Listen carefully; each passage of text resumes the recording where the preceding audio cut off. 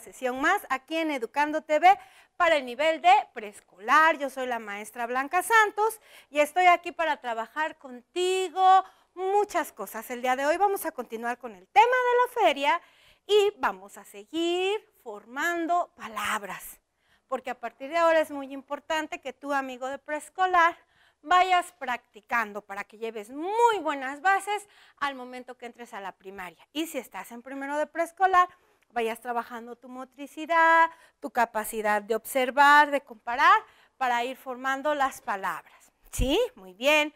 El día de hoy también nos acompaña, ¿quién creen? El maestro David. David, ¿cómo estás? ¿Contento?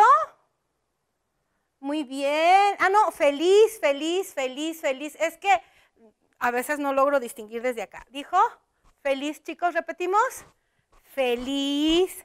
Muy bien.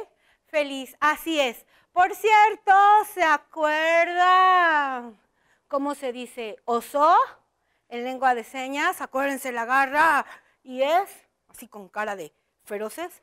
Oso. ¿Cómo? Oso. Y luego el elefante. Hacemos así nuestra manita como saludo de Jayapache. Y salud, Milton. Y giramos como los elefantes giran su trompita o su moquito, ¿verdad? Elefante. Y ahora viene una, a ver si me acuerdo, porque ya se puso exigente el maestro David. A ver, iguana. Pongo mi manita de saludo, mi dedo medio, lo inclino, lo pongo aquí en la barbilla y, ajá, en la barbilla y soplo y como si fuera iguana, doy cuatro pasitos. ¿Sí? Lo volvemos a hacer. Manita, mi dedo medio a la barbilla, soplo. Muy bien. Claro que al maestro David le sale muy bonito. ¿Lo puedes repetir, maestro, por favor? Ya ven, nos salió igualito, ¿sí o no? idéntico. Muchas gracias, David. Muy bien, pues bueno, les voy a leer un poquito de nuestro cuento porque ahora sí tenemos muchísimo. Ah, pero antes, no sé si se han dado cuenta que ya desde hace varias sesiones regresó nuestra planta. Yo les había comentado que la habíamos tenido que sacar también al sol porque, bueno, aquí no nos toca sol en el set y las plantitas necesitan el sol para vivir. Así es que vamos a regarla. ¿Ya la vieron qué grande está? ¿Se acuerdan que eran como tres o cuatro hojitas cuando comenzamos con el programa? Y ahora ya es, ya tiene hijitos, dijera la gente, o sea, ya le han salido más. Acuérdense, seguimos reciclando, cuidando nuestras plantas. Y para reciclar, ya saben, los botes de agua que ya usamos, a la tapa le hacemos unos hoyitos y nos funciona de regadera. Recuerda también que las tapas nos sirven para hacer nuestro alfabeto móvil. Vamos a continuar leyendo el cuento de la esposa, digo, el pescador y su esposa, porque ya vimos que la señora es como que un poco ambiciosa, porque quería un castillo de piedra. Vamos a ver qué dijo la pescadilla. Bien. Continuamos entonces.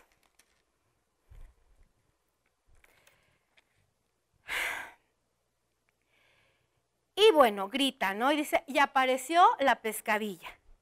¿Qué quiere pues? preguntó. Si supieras, contestó el pescador, ahora sale con que quiere habitar un gran palacio de piedra. Vuélvete a donde la dejaste, respondió la pescadilla, y la encontrarás a la puerta.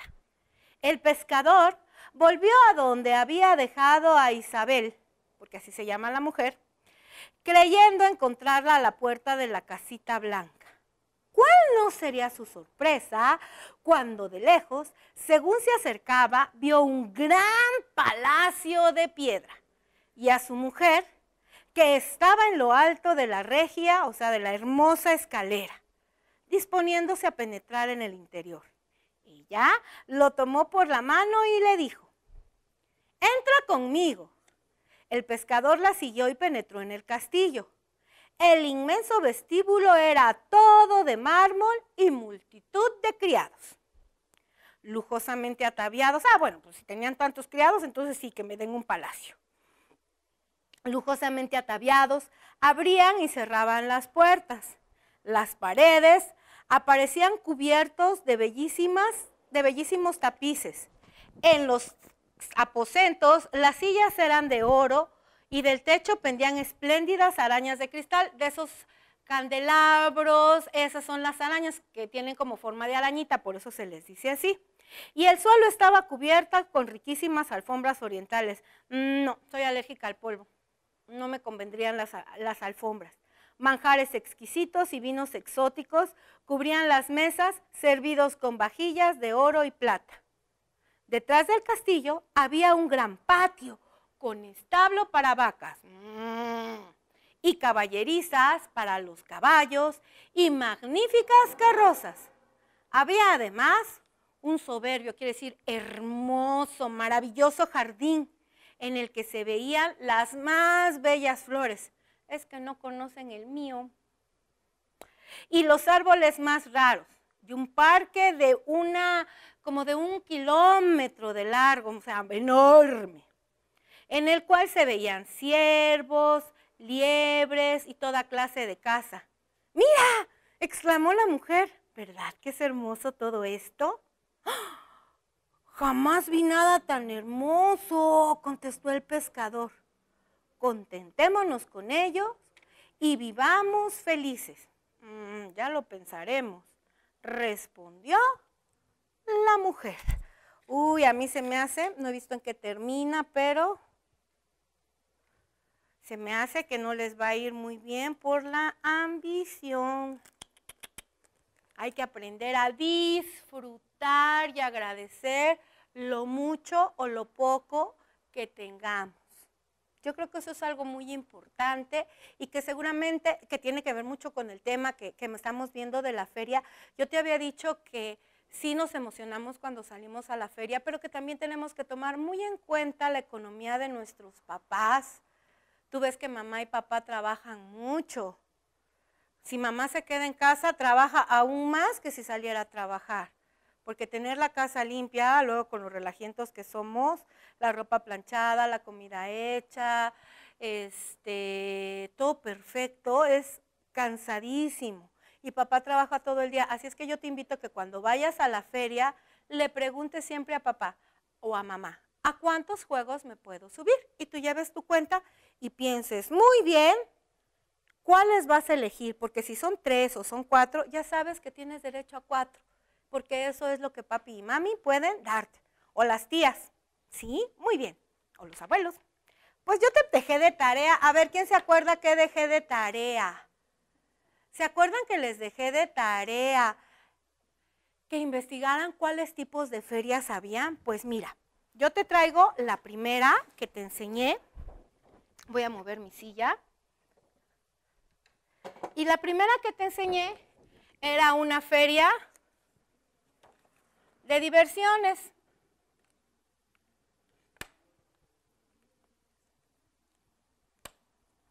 Así es. Y vimos que habían juegos, atracciones, comida, mucha gente familias, por ejemplo, aquí está la mamá, aquí están dos niños, aquí está el papá con su hijo, aquí hay personas entrando a la casa de los sustos, en la rueda de la fortuna, niños, mira, aquí hay, un, aquí hay este, por ejemplo, en los carritos chocones. Así es que tenemos que la feria de diversiones es más una feria familiar. Y aunque chiquita, te voy a presentar esta otra y espero que se observen que aquí hay puros niños. No sé si se alcance a observar, son varios cuadritos. Y estas son ferias escolares. Por ejemplo, puede ser feria matemática, feria de los libros, feria de las ciencias. Por ejemplo, en San Andrés Autla hace algunos años hicieron la feria de las ciencias naturales y el tema que tocaron fueron los niños de quinto grado fueron la reproducción sexual, el tema de la reproducción.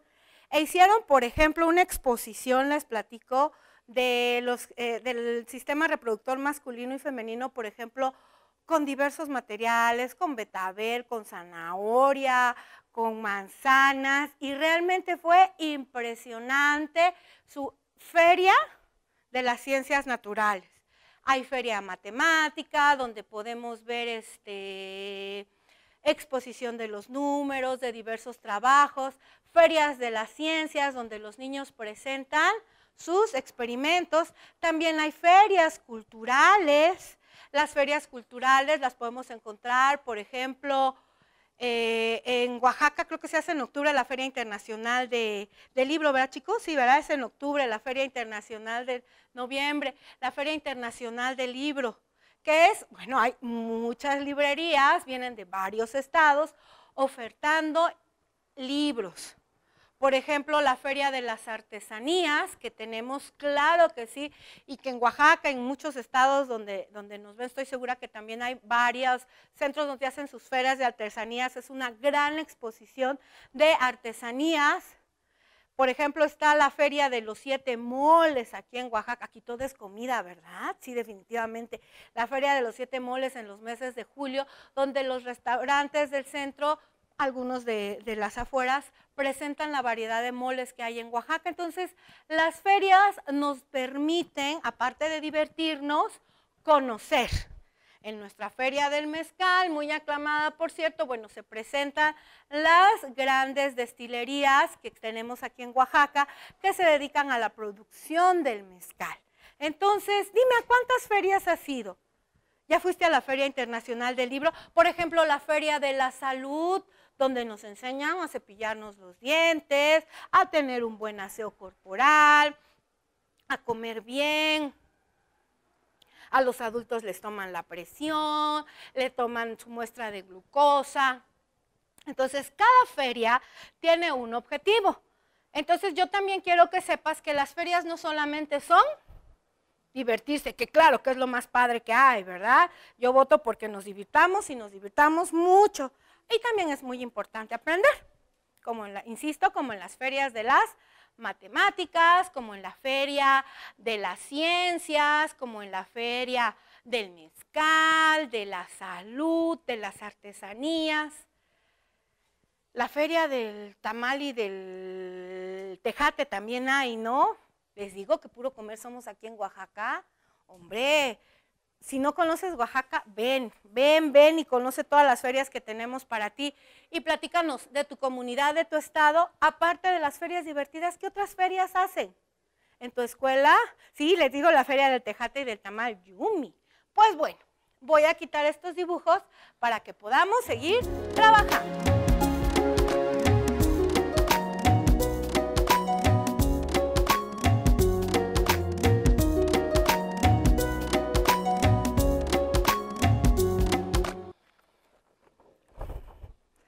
Ponemos por aquí.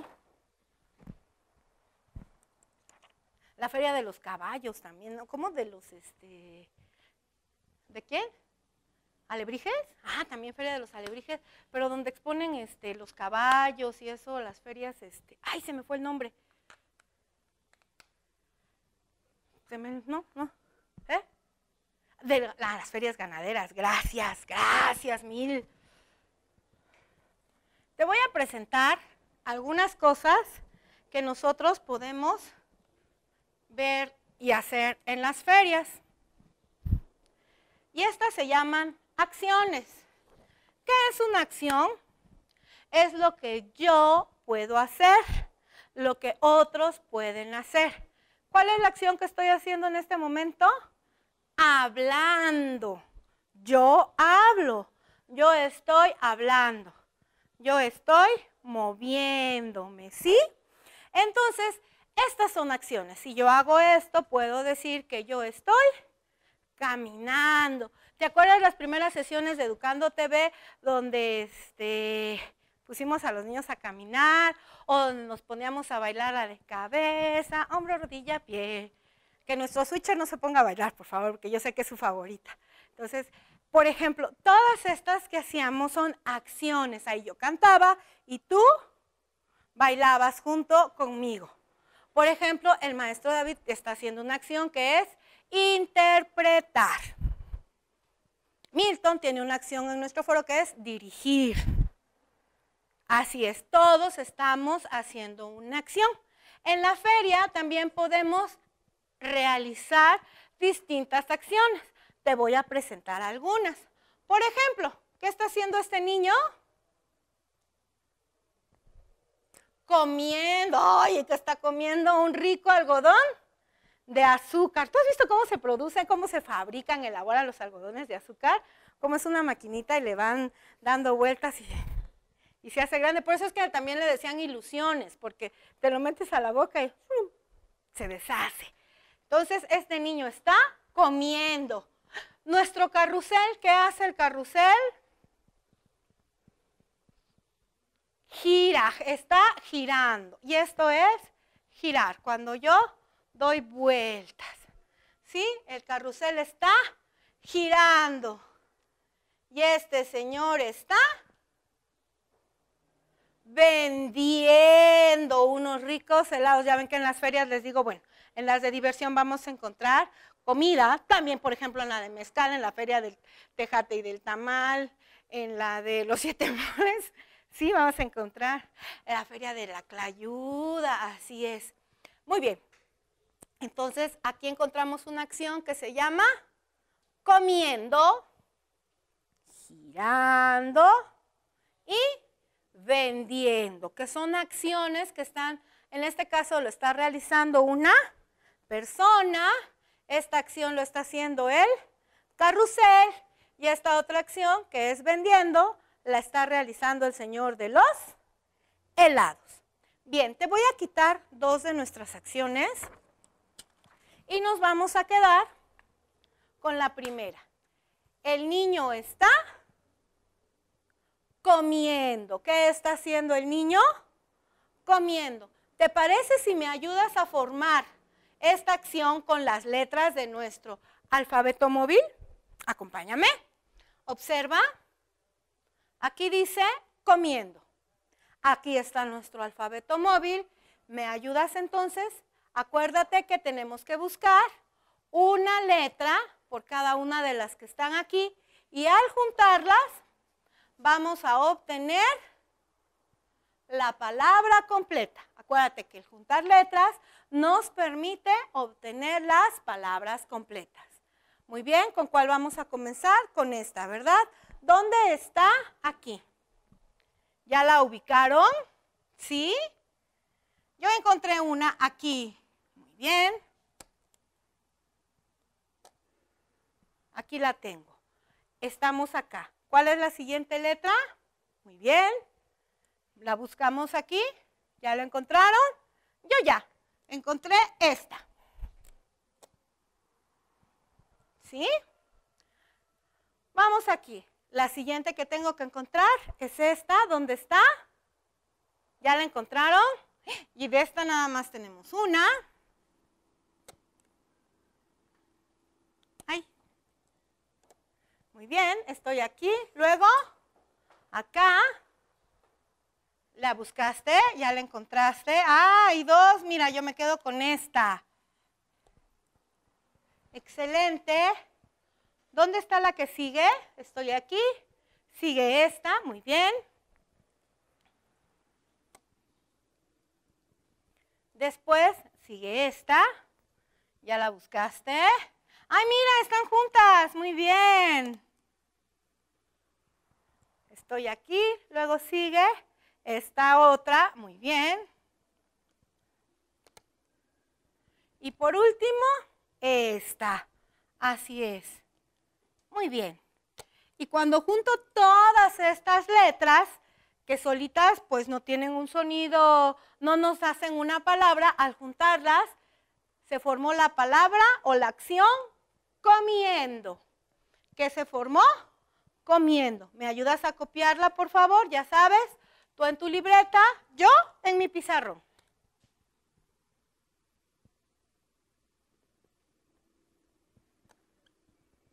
Comiendo. ¿Y ya viste por qué no tienen acento las letras de nuestro alfabeticón?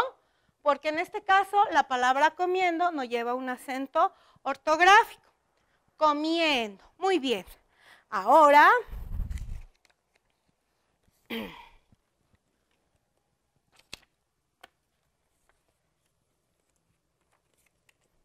yo te voy a poner esta palabra en desorden, que son de las acciones ¿Y qué tendría yo que hacer aquí para que diga comiendo? Intercambiarlas, ordenarlas. Muy bien, ¿cuál tendría que ir primero? Observa la palabra comiendo. Acuérdate que empezamos de acá y terminamos acá. La palabra comiendo y dime, ¿cuál tendría que ir al principio? Ya observa. Ah, muy bien, esta. Muy requete bien. Luego, observa nuestra palabra y observa. Así es, esta sería la segunda.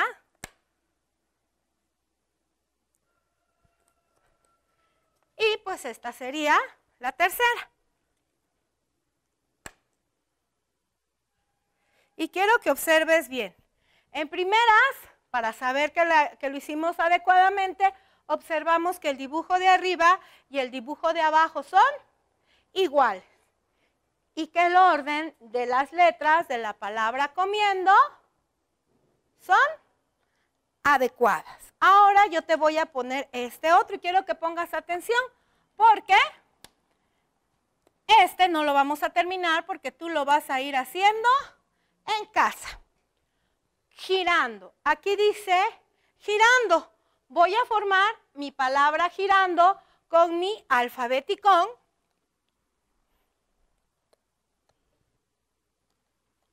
Bien. ¿Dónde está esta otra?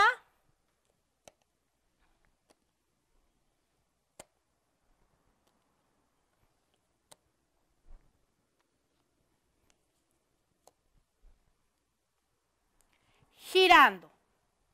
Yo la voy a copiar y tú lo vas a copiar también en tu libreta en casa. Si yo te pongo en desorden,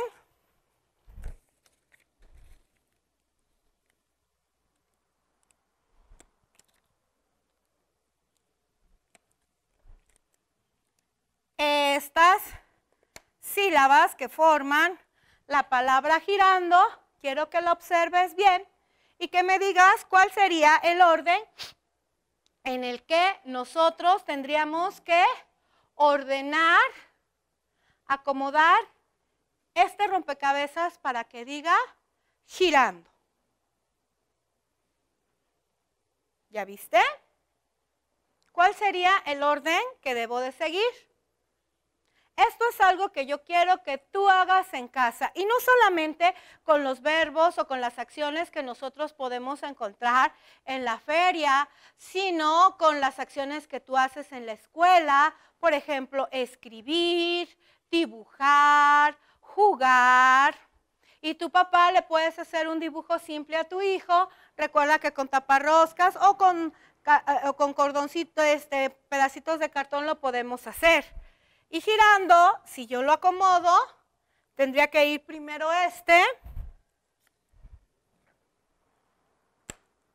luego este y al último este. Y tenemos dos maneras de corroborar que mi orden sea el adecuado. El primero es que el dibujo coincida y el segundo es que las letras estén acomodadas u ordenadas adecuadamente. ¿Tú crees que está complicado el trabajo? ¿No? Vamos, papis, ¿nos ayudan ustedes a trabajar con su pequeño en casa? Acuérdense que nosotros les damos también las ideas para que en casa ustedes los apoyen en el proceso de adquisición de la lectoescritura. Trabajemos su motricidad. ¿Tienes papeles que ya no te sirven? ¿Y tienes un archivo muerto enorme? Pon a tus hijos a rasgarlos, a cortarlos. El hacer este rasgado les ayuda muchísimo a los niños. ¿Quieres trabajar? ¿Por qué? Porque estamos trabajando la motricidad fina y esto es algo previo al recortado con, con tijeras. ¿Quieres seguir trabajando motricidad? ¿Quieres seguir trabajando distancia con ellos? Que los hagan bolitas y que los avienten a una bolsita. Y estamos trabajando con actividades que pueden cooperar en casa. Recuerda que los chicos están totalmente capacitados, capacitados para cooperar. Muchas gracias, maestro David. Te mando un abrazo de oso también a ti. Nos vemos en una siguiente sesión. Muy bien, yo soy la maestra Blanca Santos y recuerda, te mando a ti también un abrazote de oso. Nos vemos en una siguiente sesión aquí en Educando TV. Hasta luego.